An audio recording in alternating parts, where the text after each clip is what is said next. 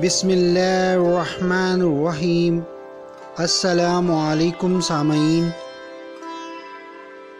इस वीडियो में हम देखेंगे कि हीरा नाम का मतलब और इसकी मज़ीद तफसीलात क्या हैं।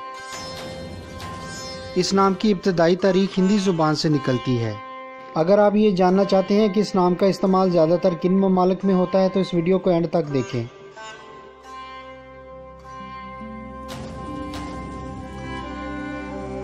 मज़हब है इस्लाम, यानी ये नाम मुसलमानों के लिए इस्तेमाल किया जाता है।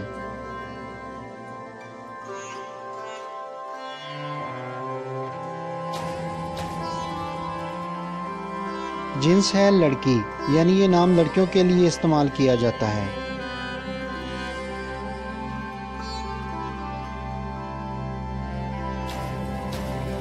ये नाम उर्दू में तीन हरूफ और एक लफ्ज़ पर मुश्तमिल है। अगर आप ये जानना चाहते हैं कि इस नाम के अफराद की हसूल ज़िंदगी क्या होती है तो इस वीडियो को पूरा देखें। हीरा एक पहाड़ी का नाम है, जहाँ पर हजूर सल्लल्लाहु अलैहि वसल्लम पर कुरान नाजिल हुआ।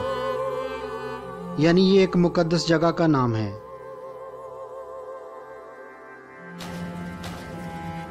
हिंसों के हिसाब से इस नाम के अफराद के लिए खुशकिस्मत समझे जाने वाले रंग हैं सफ़ेद, गुलाबी और हल्का सब्ज़।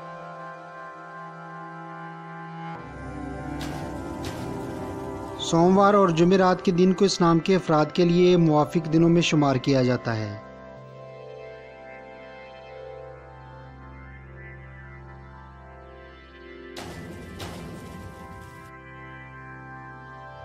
जबकि हिंसों के हिसाब से इस नाम के अफराद के लिए मुआफिक पत्थर रूबी को समझा जाता है।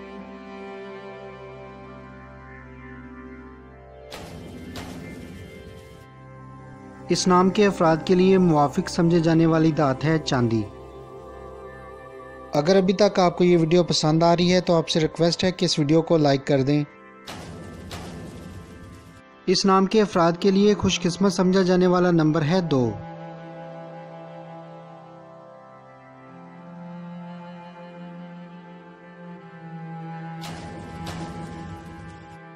हीरा की तफसील है हीरा बतूल, हीरा बानो।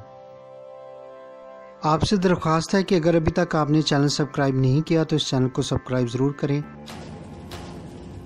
इस नाम का ज़्यादातर इस्तेमाल जिन ममालिक में किया जाता है, उसमें सर फहरिस्त है पाकिस्तान, नंबर दो पर है यूएई, नंबर तीन पर है बांग्लादेश।